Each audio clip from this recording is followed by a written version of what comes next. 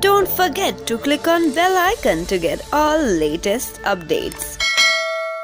शाहरुख खान और Manisha Koirala starrer film दिल से ने 21 साल पूरे कर लिए हैं। 1998 में रिलीज़ हुई इस फ़िल्म ने अपने कंटेंट के चलते काफ़ी सुर्खियाँ बटोरी थी। इसके अलावा फ़िल्म में ए आर रहमान का म्यूज़िक और गुलजार के लिरिक्स के चलते ये फ़िल्म कई मायनों में क्लासिक मानी जाती है। ये वही फ़िल्म है जिसमें मलाइका अरोरा ने छैया छैया पर अपनी डांस परफॉर्मेंस के सहारे अपने आप को इंडस्ट्री में स्थापित कर दिया था। हालाँकि अपने सब्जेक्ट के चलते इस फ़िल्म को सोशल मीडिया के दौर में कई लोगों के गुस्से का ज़रूर सामना करना पड़ता, और कई लोग इसे इंटरनेशनल फ़िल्म का करार भी दे सकते थे। दरअसल फ़िल्म में आतंकवाद से लेकर सरकार द्वारा लोगों पर किए जा रहे अत्याचारों को भी दिखाया गया था। खास बात यह है कि इस फ़िल्म ने दो नेशनल अवार्ड्स भी जीते थे।